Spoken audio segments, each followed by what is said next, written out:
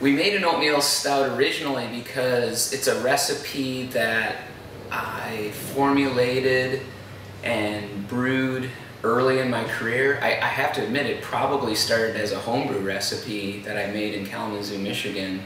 I've always been a big fan of oatmeal stouts. I can't really tell you who specifically as far as the brewer is the inspiration for that beer. I think most of it was what I thought in my mind an oatmeal stout should taste like. And a lot of my first recipes were pulled from Roger Protz's book on real ale, where he surveyed brewers in England 20 years ago and they coughed up their recipes to him.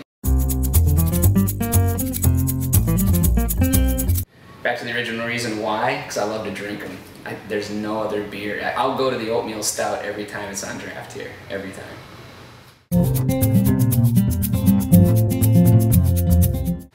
So um, recipe and formulation standpoint wise, it's a pretty straightforward mash bill when it comes to stouts. It's a lot of roasted barley. Uh, we've chosen Briess as our supplier for our roasted barley and we really like the flavors that come from that uh, malt. It does have a nice charge of caramel malt, but we try to keep that in balance. I don't want this to be a cloyingly sweet beer by any sense, and the hops are a little bit subdued. So we're really looking for a lot of coffee, roasted malt character, and a background of caramel malt behind it. Um, we use some Maris Otter in this beer along with some Munich malt to bring up the toasty levels a little bit. And of course this is all just about um, flavor layering more than anything because the roasted malts are really going to be predominant no matter what and everything. So it's certainly an American twist on an oatmeal stout, um, trying to capture roast barley characteristics and really centering in on that, getting oatmeals in, oatmeal in the mix from a texture standpoint, trying to create a creamy beer. And sometimes using oats can be tough in that regard. They can almost bring astringency to a beer if you're not careful, but I think that that is one of the other center points. We focused on U.S. grown Fuggles. There's something about Willamette Valley grown U.S. Fuggles that I just am in love with.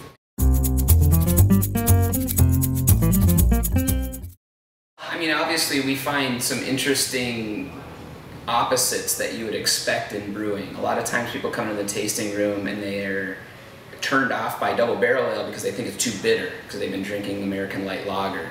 So then you think, well, gosh, how are they ever going to accept a stout? You got a beer that, that looks big, dark, scary, and aggressive. But as soon as you smell it, you get more of those familiar flavors of coffee, of chocolate cake, um,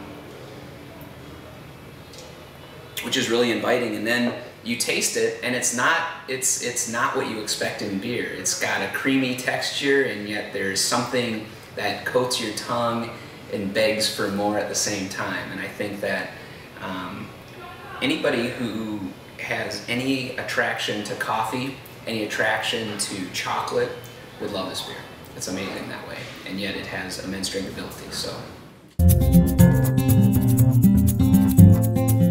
I mean, here's how it goes here at Firestone Walker. We come up with a new recipe.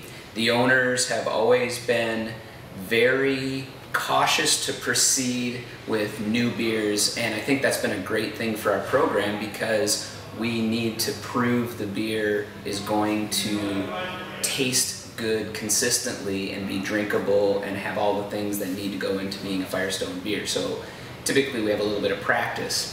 So when practicing a beer, we always come up with, you know, we got to have a name for it. Something's got to be written on the brew sheet. We got to call it something. It needs to kind of gain a personality before we can really get to know it well. So Velvet Merkin was the name of this beer uh, right out of the gates here at Firestone. And uh, of course, nobody knew what in the heck a Merkin was, so no one thought twice about it. And um, after four or five years of brewing the beer, that is the name of the beer, and that's what everybody has come to call it. It's won uh, awards both at Great American Beer Festival and World Beer Cup under that name, and nothing uh, uh, makes me chuckle inside more than when Chris Swersey has to say, and the medal goes to Velvet Merkin on stage in front of like, you know, 5,000 people. So, but we've had our fun with that, and uh, the beer's gonna go into bottle, and um, So now that it's an official beer of Firestone, we have an official name and we've transitioned it to Velvet Merlin. Um, I don't know where that comes from, but certainly uh, it's a nice name all of itself. We can we can weave an interesting story with that name as well. And uh, will Merkins ever uh, return to our brewery again? Uh, I think probably they will. So it's okay. I'm okay with the name change.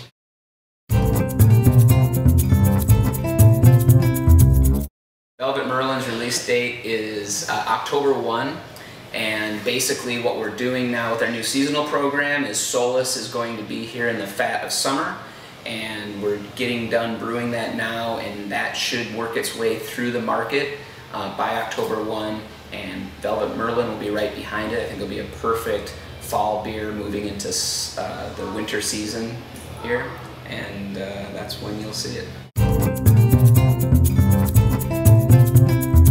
I could only drink five beers. You could only drink five more beers the rest of your life. Where would this one rank? If I can only drink five more beers the rest of my life, be the first. Kill me in about 30 minutes.